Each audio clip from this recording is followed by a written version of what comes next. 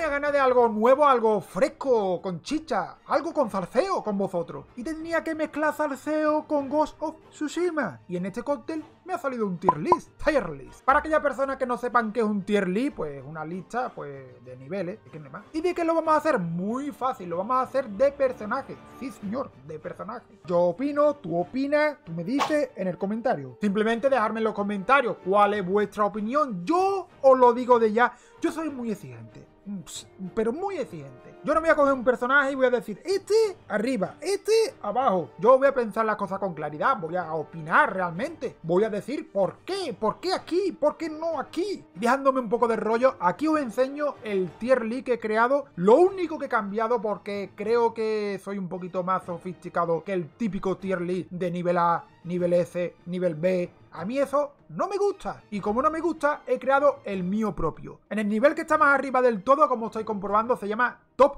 del barrio de Tsushima. Un poquito más abajo, en segundo nivel, tendríamos los Oni se acojonan al verte. Como tercer nivel, como no sabía qué poner, pues puse ni fu ni fa. Tirando, tirando casi abajo del todo, tenemos prefiero a un Tengu antes que a ti. Y por último, ya como el nivel más bajo del todo, como estáis comprobando aquí, que te coma Resumiendo, cuanto más arriba mejor, cuanto más hay 13 fotos, como estáis comprobando, de 13 personajes diferentes. A mí me sobran dos, pero bueno, oye, ya que la han puesto, no voy a hacer feo. Voy a hablar también un poquito de ello, me lo voy a quitar rápido, pero bueno. Y dicho esto, creo que es hora de comenzar. Pero antes que nada, que se me olvida, vamos a poner un poquito de música de acción y me voy a preparar.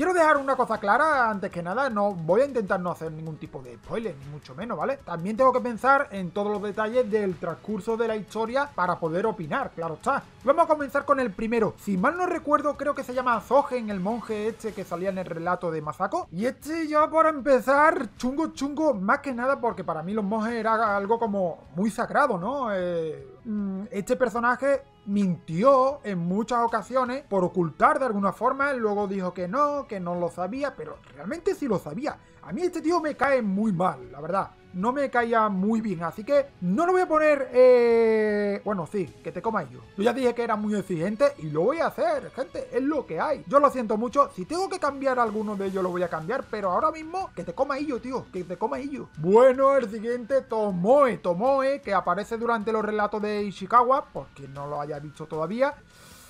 Yo voy a decir la verdad, al principio se alió con los pero realmente yo achaco bastante la culpa a lo que hizo Ichikawa. No voy a contar nada para que veáis en la historia lo que ocurrió, pero yo digo que transcurso de la historia de los relatos de Ishikawa, yo vi a una Tomoe que, que iba evolucionando y al final ocurre cierta cosilla que vi a la verdadera Tomoe, vi a este verdadero personaje como era realmente. Así que, contando con lo que hizo al principio y contando con lo que ocurrió después la evolución, yo lo voy a poner ni full ni fa. Vamos a dejarlo aquí en el nivel medio, por decirlo de alguna forma. Y vamos con Kenji, mi querido Kenji. Kenji realmente es un personaje bastante, bastante curioso, muy gracioso a mi parecer. Y la verdad que me gusta, me gusta mucho porque dentro de, lo que puede hacer, porque se ve personajes que prácticamente no hacen nada, pero en realidad dentro de su pequeño ámbito, realmente ayudó bastante a colarnos y a hacer muchas cosas. Y además, y a darnos también saque, que el tío que no para de dar saque. Así que mm, yo te voy a poner en un nivel medio, Kenji. Más que nada porque tampoco vi que, bueno, hicieran mucho.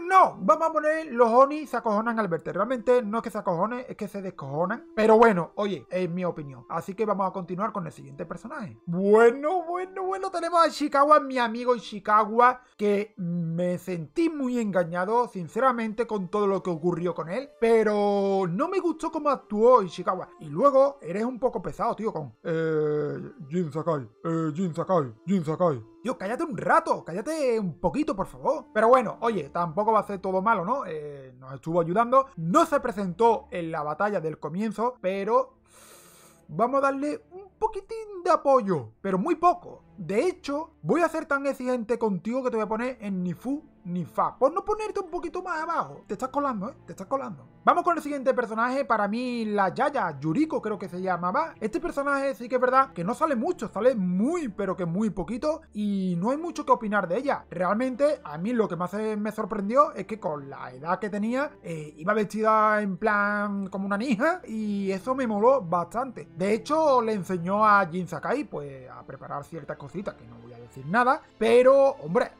la Yaya top top. No lo vamos a poner arriba del todo, pero sí que te voy a poner Yuriko, con lo poco que hiciste, los Oni se acojonan al verte. Bueno, bueno, que llegamos al Kotukan, a uno de los personajes, pues, más vistos en todo el juego. Yo aquí mm, sé que es el enemigo, realmente hay que ponerse en el punto de vista de todos los personajes, y yo os voy a decir la verdad. Muchos lo odiamos por las cosas que hizo, pero si nosotros hubiésemos sido, por ejemplo, eh, los mongoles, los que atacaban a Tsushima, lo veríamos con otros ojos diferentes, ¿eh? Ojo, cuidado al dato. Así que yo aquí te voy a poner em, un prefiero a un Tengu antes que a ti. No te voy a poner en el último nivel más que nada porque entiendo que como general tienen que tomar unas decisiones muy muy complicadas. Así que te pongo en el nivel casi abajo. Y llegamos al prota del juego, a nuestro queridísimo Jin Sakai. Muchos de vosotros entraréis en disputa conmigo seguro. Pero yo voy a dar mi opinión. Aunque sea el prota de la historia, hubo ciertas cosas que no me gustó como actuó. Tanto al principio como a la mitad del juego y ya prácticamente al final, hubo varios hechos de Jin Sakai que no me gustó para nada. En el principio, por ejemplo, eh, mientras que un enemigo le estaba hablando, no voy a decir nada, pero él aprovechó la oportunidad para pegarle un tajazo. Eso no se hace, Jin. Eso no se hace, tío. Era un samurái. Demuestra tu honor. Combate cara con cara. Face to face. Así que, Jin, no te voy a poner en el top, aunque sea el prota. Lo siento mucho por esos hechos tan feos que hiciste durante la historia. Fueron varios, tres o cuatro hechos que no me gustaron. Por tanto, creo que te voy a poner en los Oni se acojonan al verte. A ver qué es lo que opináis ustedes de Jin Sakai. Yo quiero verlo. Bueno, seguimos con el siguiente personaje y ahora toca...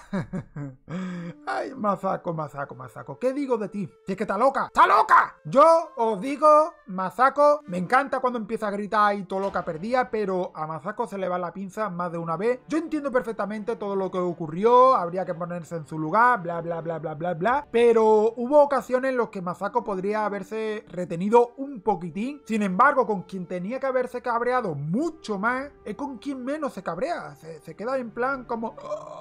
Y no, no, Masako, mal, mal, no me gustó ese acto tuyo. Por tanto, te voy a poner ni fu ni fa, porque en verdad también me ayudaste bastante al prota. Así que, Masako, te pongo en el nivel ni fu ni fa. Y vamos con nuestro amigo Norio. La verdad que este personaje me encantó los relatos. Eh, la historia es muy, muy, muy complicada para este personaje. Salvo el final que se le fue un poquitín. Pero quitando eso, la verdad que Norio como forma de hablar, de expresarse, de actuar, hizo bastante cositas buenas. Así que Norio, yo te voy a poner a ti en los Oni, se acojonan al verte. Y no te pongo arriba del todo porque no, Norio, lo que hiciste al final de todo te volviste un poquito loco. Y bueno, llegamos a un personaje muy, muy polémico. Y diré ustedes, este Arzaco. A ver, a ver, Ryucho. Para aquella persona que no lo conozcan todavía, que seguramente lo conoceréis, pero a mí Ryucho me cayó fatal con todas las cosas que hizo. También hay que ponerse un poquito en su lugar de que quería, en parte, proteger a lo suyo, pero actuaste muy mal, Ryucho actuaste muy mal, tío. No me gustó, no me gustó lo que hiciste. Mira, Ryuzo, lo siento mucho. Mira, estoy cabreado porque llevo ya varios personajes que me he puesto alterado y contigo, pues que vas al hoyo. Va abajo del todo. Que te coma yo, tío. Bueno, gente, ya nos queda solamente tres personajes. Ahora nos toca. Taca, tío, taca. Ay, taca. Bueno.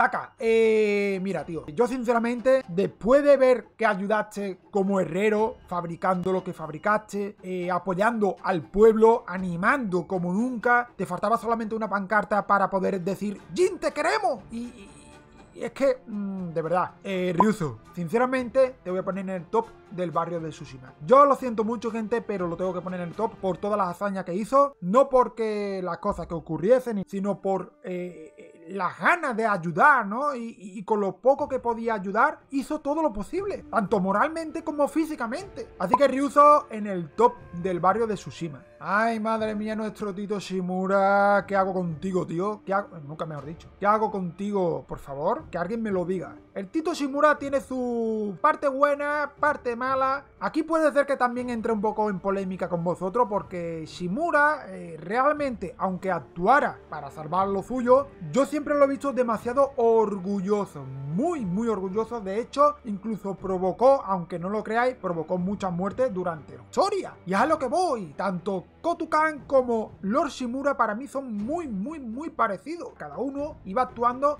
pues a lo suyo, pero no veía lo que provocaba. Y encima su orgullo pues le lleva a pensar y actuar de forma que no, no, no, no, no debería de haberlo hecho. Te voy a poner, prefiero a un Tengu antes que a ti. Lo siento mucho, pero te pongo al mismo nivel que Kotukan. Y punto. Y para terminar tenemos a Yuna. Creo que es de los personajes que más me llamó la atención por la evolución que tuvo. Empezar como una especie de ladrona, acabar como apoyando como si fuera un verdadero samurái. Para mí fue una de las evoluciones más potentes que hubo en todo el juego. Y Yuna, te queremos, te yo estoy seguro que te queremos todo el mundo. Así que Yuna, yo te voy a poner en el top del barrio de Tsushima junto a tu hermano. Es que están los dos hermanos en el top, tío. En el top. Bueno, gente, esta es mi clasificación, mi tier list. Y me gustaría que en los comentarios me dejarais vuestra clasificación indicando cuál estaría arriba, abajo. Os dejaré en la descripción estos términos para que lo copiéis, lo pegáis en un comentario y pongáis vuestra lista. De esa forma tendremos una opinión, pues, diferente, más parecida, más lejana pero tenía muchas ganas de traeros este vídeo porque sinceramente me apetecía. Me apetecía el zarceo con vosotros. Y fresco. Así que dicho lo dicho, espero que haya gustado y nos vemos en otro vídeo. ¡Chao!